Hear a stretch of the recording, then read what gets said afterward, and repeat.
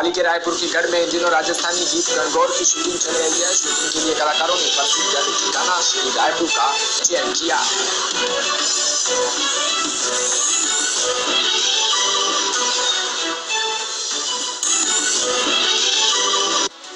राजस्थान के ऐतिहासिक धरोहर को लोगों के सामने लिखकर उनकी विशेषताओं को बताना है। गायक कलाकार हरीश शर्मा ने बताया कि राजस्थानी गीत गणगौर गाना राजस्थान की परंपरा पर आधारित है।